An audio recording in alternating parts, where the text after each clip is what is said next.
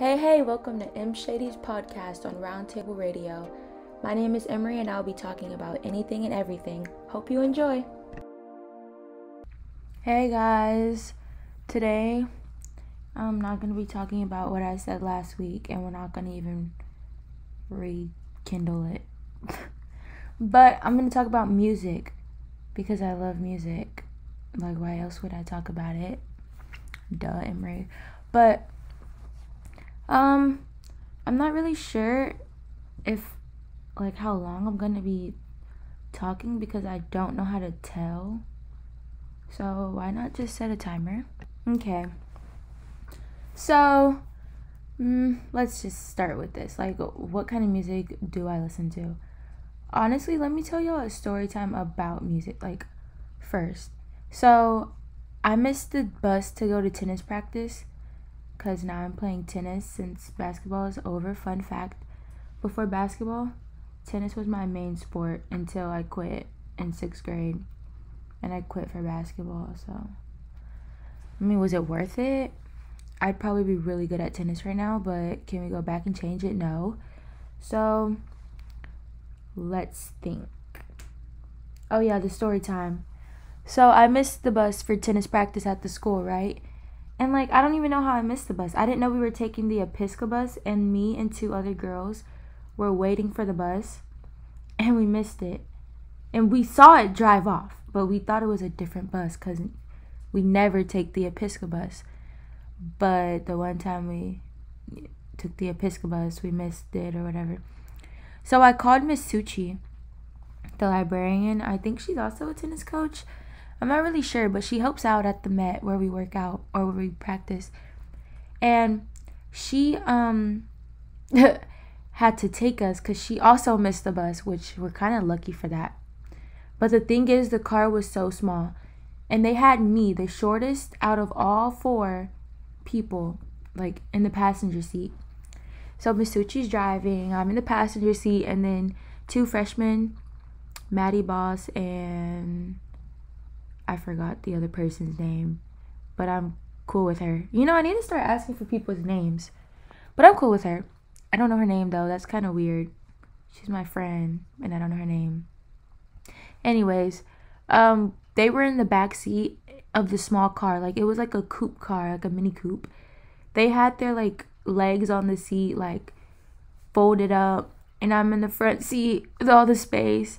Actually, I didn't have that much space, but back to what we're talking about music. So in the car, like it was kind of awkward because you know, like we don't really talk to Miss Suchi. Like she's a bundle.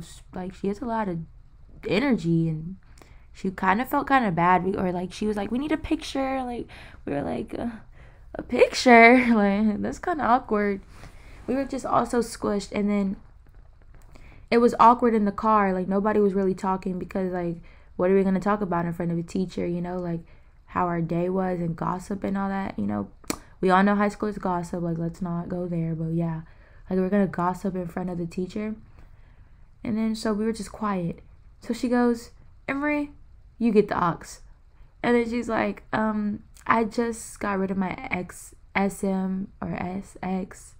What is it? SM radio or something." So I'm like, I get the aux in my head. I'm like, what am I gonna play? Y'all, like you would. Oh my god, y'all. she goes, um, no profanity, no rap, no fast, like no fast music, no cuss words. I'm like, what am I gonna play? I said, well, that's gonna be hard. And she was like, okay, maybe a little bit of profanity. No, the profanity wasn't the hard part. It was the rap. it was the rap. So I played y'all, I played Good Days by SZA and that had cuss words and every time the cuss word came on I like cringed and I was like, Oh my god. And then I played Normal Girl by SZA and then like Pop Smoke came on. I was like, I really hope this isn't a lot of rap for her. But y'all, like all I listen to is like R and rap and like that's what everyone listens to. What was I gonna play? Country music? Like I could have put on Taylor Swift, but nobody wants to talk about or cry about a boy in the car like on the way to tennis practice. No, nobody wants to do that. But yeah, that's literally how the ride went. It was kind of awkward. I don't know what else I played, but I promise Maddie and the other freshmen, I don't listen to that kind of music. I, I listen to like Jhené Aiko and, you know, like Drake, you know. I don't really like Kanye. Nope, he's a little weird. A little Durk, you know, like I listen to rap music. I hope y'all know who that is. I'll play a song for y'all right now. I'll play I'll give y'all a little snippet. Yeah, love my black and I love my late mouth 50k, better brush your teeth. I can't even play like all that I want because it's too many cuss words. It's it's so many cuss words. I wish like rappers could just find a way not to cuss every sentence and make the song still good, but I guess it gives it flavor. But music actually really like gets you through so much. Like different artists like it's like people are the same to me. Like we all go through the same things. Not all of us, but like we have similarities. And rappers are just like us and songwriters, singers, all just like us. They're they're human. You know, they live the life that we live. You know, they're normal people just with fame and more people know them and they have more money or whatever. Like they still go through things and I guess money can't find you happiness, but I don't believe in that. Shoot, money can buy you happiness. I don't know. Money can't buy you people, I guess. Like you can't buy people back with money unless they're a gold digger and you don't need that in your life. You don't need gold diggers in your life. But that's not even what we're talking about. We're talking about music and it can get you through so much and like the person that the songwriter or singer that helps me when you know i don't like saying i'm feeling down but you know everybody feels down so the person that actually helps me is like not even a rapper it's a singer her name's Jhené Aiko it's like she goes through so much of what females go through with you know family relationships you know you know just life in general and also Drake like Drake knows what he's talking about he is really smart. So is um J. Cole. J. Cole is like one of the best writers. Like he knows how to put words and pieces together and make the song flow. He's good at it. I'll give it to him. He's good at it. But y'all, I've been knowing like now I know why my podcasts have been so long. Y'all are probably bored. I've been looking at the top and I've been waiting for it to get to 10 like I've been waiting for the top part to get to like a thousand basically. But no, uh, it's not how it works. That's not the minutes or seconds or whatever. Like I'm already seven minutes in. Like I thought I would be two minutes in right now. I'm actually slow in the head sometimes, you know? That's crazy. I'm so glad Mr. Friend will taught me that. Like that saves so much time. All my podcasts have been extremely long probably bored y'all away. But yeah, music is actually like therapy. Don't go to a therapist, just listen to music. Jhené Aiko, Drake, Lil Durk, Lil Uzi, all these rappers. You know, their life stories are actually really interesting. Like Jhené can I guess she's like an influence to young moms. Like she's a mother and she had her child at like 19 or something like that. It's like a teen mom and she still like made a way for herself and her family.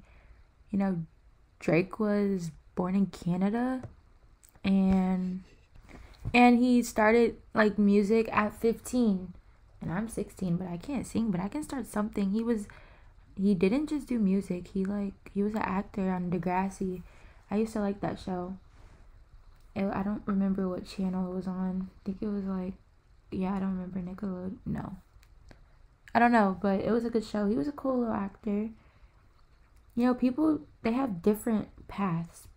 People were born in the you know hood, like the poor parts of their state or their country or whatever. And they still made a way, found a way through music, through their voice to just influence other people, teenagers, you know, adults, mothers, fathers, you know, just any kind of people. They always find a way to influence. And it's just so inspiring how people can change their life with their voice. You know, I, they probably were all shy at first and probably had challenges throughout the road, but everybody has a different path.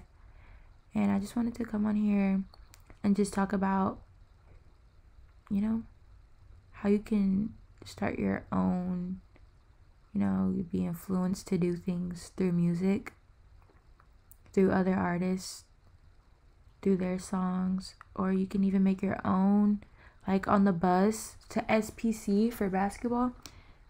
And at the um at the gyms before our games, mainly in SPC play, like conference play, all the girls on the basketball team would just rap. Like, we'd find so much joy and just have so much fun from rapping, making up our own raps, you know, talking about what we're gonna do, talking about each other, talking about the other team, just having fun rapping and singing and dancing. It just all brings us joy and like it just makes us forget all of our differences and challenges outside of basketball or like that we may have in school or anything else. You know, it just all goes away just from our voice and just being with each other and singing. It, it's just, it's honestly, honestly like one of the things that I, you know, miss about basketball besides actually playing and, you know, going to SPC to Dallas and just you know, championship, getting there and making history, I do miss the music that we made. We should make an album. But yeah, thanks y'all. Thank you for listening and M Shady out. And that's wraps. Thanks for tuning in to M Shady's podcast on Roundtable Radio. Hope you enjoyed. Come back every other week to see what I have to talk about next.